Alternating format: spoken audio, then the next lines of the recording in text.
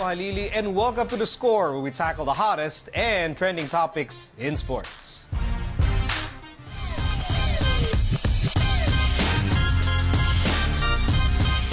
The USC Golden Tigresses remain on track for a Final Four berth, while the Ateneo Lady Eagles march their 10th straight postseason appearance. And joining me to discuss the weekend's UAP women's volleyball matches, we have our analysts today, Sinjin Reyes and Jem Ferrer. Hi, guys. Hello, Tito Nicole. Okay, one more weekend check, and then uh, let's talk about uh, the players that performed well over the weekend. Let's start with that Ateneo win over NU. Ateneo now at 10 and 1.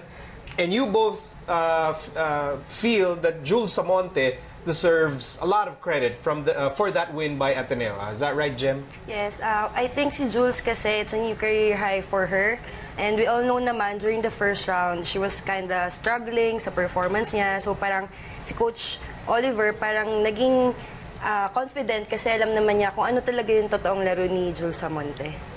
Explosive game from the veteran of the Ateneo squad. It's weird to call Jules a veteran at this point, but Jules really performed pretty well, really explosive. We saw how she delivered a lot of down the line kills, which really um, put a mark on NU na parang kailangan bantayan ng isang Jules Samonte. And that's what's important for the Ateneo squad, na magkaroon ng threat because you know that Kat, Maddie, Bea will always be contributing their points, their um, attacks there. Yeah, at kahit sa depensa niya eh, nakakabawi talaga si Jules eh.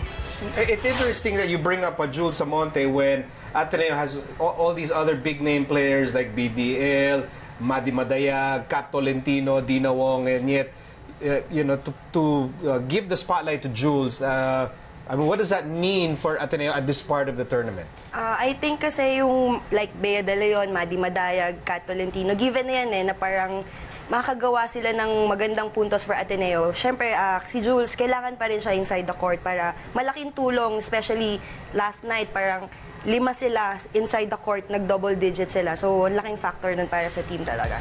It's it all boils down to a collective effort. Hindi lang pwedeng Jules, Maddie, Bea lagi. Kasi at a certain point, mababantayan at mababantayan sila. This is the second round. The teams already know kung paano gumalaw yung Ateneo. So, they really need Jules, Pongay to step up. Even Vanny, pag pinapasok si Vanny, has to step up as well. Let's move to that LaSalle win over the Adamson Lady Falcons. And I'm glad we're getting to talk about Jolina De La Cruz again. Had a hot start to this tournament. And uh, if she gets a hot finish, it's a perfect way to really help LaSalle move to the Final Four. How did Jolina perform against Adamson, Jem? Ah, si Jolina, she was able to contribute 13 points last night. So, ang ganda nung pinakita ni Jolina. Although, sa previous games natin, na-miss natin yung performance ni Jolina eh. Ah, last night, ang ganda nung pinakita niya. So, nakabawi siya. Tumbatan to parang, for me, ang tapang niya as a rookie, may kita mo inside the court na confident siya maglaro. Hindi na parang iniisip niya, rookie lang ako, so ito yung i-perform ko. Hindi eh, para na siyang veteran talaga inside the court. I think Jolina stood out not just offensively in attacking, but one great factor was yung depensa, yung blocks. And syempre, yung aces na kinontribute Yes. niya. Ang hirap ng mga serve na binibigay niya sa Adamson. And doon talaga natin nakita na may maturity na yung bata. For you to target the right player, and I'm sure with the direction of Coach Jamil, hindi nakagulat-gulat yon But really, for you to know where to bring the ball, who to target, that's really a good sign for LaSalle, especially that they're trying to get a comeback here in season 81. Uh, LaSalle moving up to 8 and 3 with that win over Adamson. Let's go to that FEU win over UP. Uh, this this was that game uh, over the weekend that had major uh, impact on the Final Four race because these are two Final Four contenders. Uh, you you had different uh, player picks no for, Yes. for for this match. Uh, Jem, I'll start with you. Uh, Buding Doremdes uh, is. I, I think everyone loves it the way she plays, her energy, her never say die attitude on the court for FEU.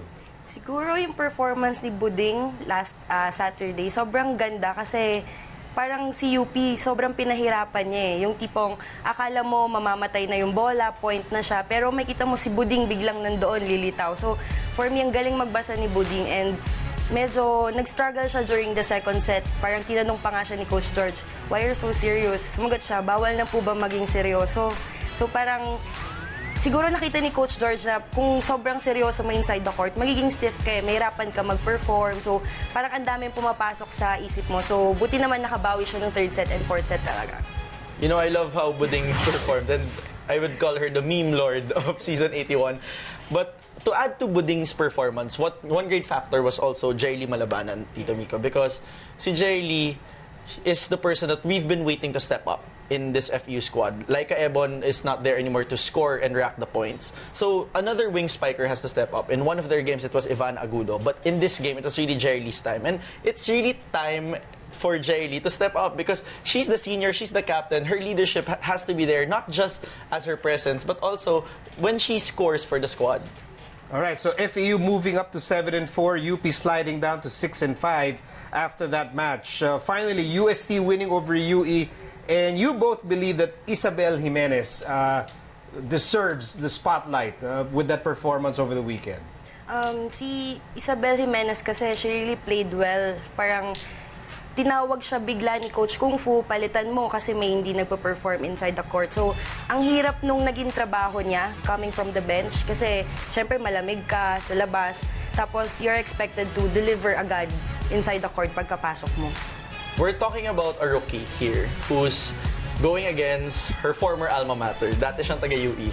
And Isa Jimenez is perf- uh, performed really well and is a shows that she could be in the future of UST, in the future plans of Coach Kung Fu. But what we saw here was just a glimpse of what Jimenez can do. And it was nice to see na may bagong mukha na pwedeng asahan yung UST, especially when they don't have their usual scorers pag wala sa Wisho yung mga usual scorers nila. But what we saw here is Isa Jimenez playing the support role to the Laurondina combination.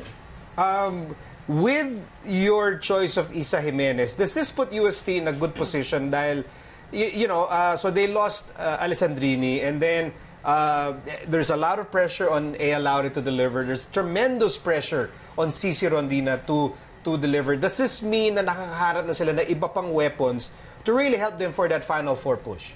Um, yes, kasi syempre, hindi naman natin ma-expect na lahat yan magpo-perform everyday on yung game ng kada player. So parang dapat yung mga nasa bench, kailangan talaga ding makatulong. So pag pinasok ka, deliver ka, pakita mo kung anong nilalaro mo talaga. Kasi pare-pareho lang naman kayo ng tinitraining eh.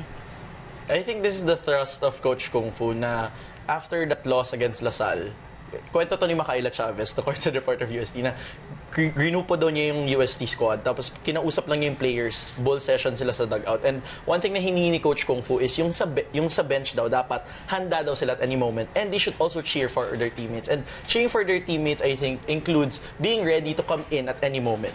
And that's what's important when you see this young player for UST like Isa Jimenez. And there you go, uh, Sinjin and Jem uh, putting the spotlight on Jules Amonte of Ateneo, Jolina de la Cruz of Lasal, Jerry Lee Malabanan and Buding Durendes of FEU, and Isa Jimenez of UST. We're not yet done with Jem and Sinjin. When we return, the Lady Tamaraos, the Lady Maroons, the Tigresses, all will continue their battle for possible Final Four spots on Wednesday. We'll give you that preview when we return.